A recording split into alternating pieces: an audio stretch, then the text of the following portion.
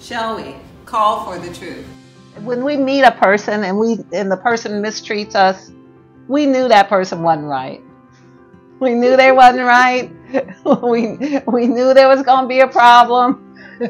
And we just was going to go for it and hope it was going to be okay.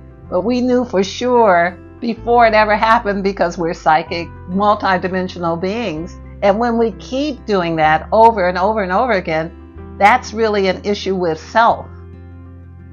But maybe we haven't been taught to respect self enough where we decide, all right, I'm going to decide to treat myself appropriately and Mother Earth can help us.